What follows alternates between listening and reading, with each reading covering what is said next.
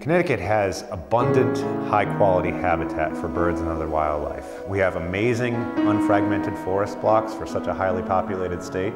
We have some great grasslands, some very important floodplain forests, and some globally significant tidal wetlands, islands, and beaches. Long Island Sound itself is an amazing and important landscape. But Connecticut also has the highest percentage in the country of what is known as the urban wildlife interface. That is where high quality wildlife habitat co-occurs in a developed landscape.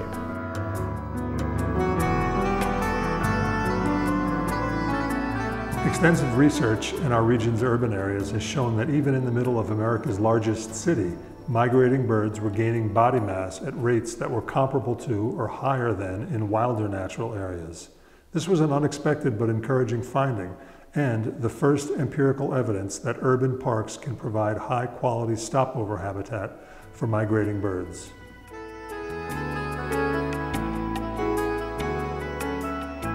The genius of the Motus network isn't just that the tags and receivers are relatively cheap, it's also that all the tags broadcast on the same frequency to which all the towers are tuned so that any tag on any organism can be picked up by any station. In just a few years, Motus has generated hundreds of millions of detections on thousands of birds, bats, and insects. But Motus does more than expand our understanding of migration. It's helping conservationists identify the critical places that birds need to rest and refuel along the way. The country's 560 plus national wildlife refuges may be the best known component of the U.S. Fish and Wildlife Services activities. But when it comes to protecting wildlife and connecting wildlife to people, there's nothing more immediate and direct than its urban programs. They improve wildlife habitat in cities like New Haven and strengthen the neighborhood partnerships to plan and carry out improvements. The result is places like West River Memorial Park, the Cherry Ann Street Park, and almost 25 other wild habitats within the city of New Haven.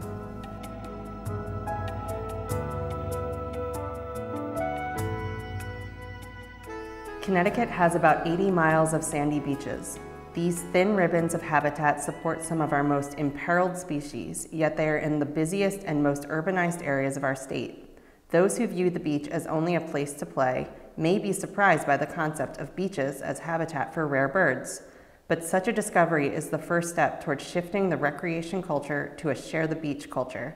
By changing the attitude to one of sharing and tolerance for wildlife's needs, we will see a big conservation win in maintaining Connecticut's biological diversity for future generations.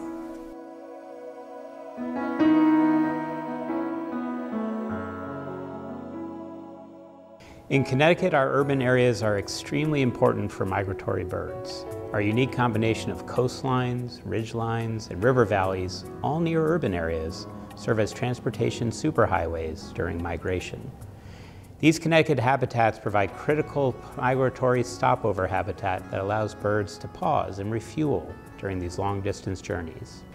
Connecticut's urban areas are fragile ecosystems that need to be recognized, supported, and maintained. Devoting our attention to this is a wise investment. It helps our economy, it helps our health, it helps connect people with nature, and it helps ensure that this amazing diversity of wildlife in Connecticut remains part of our natural heritage.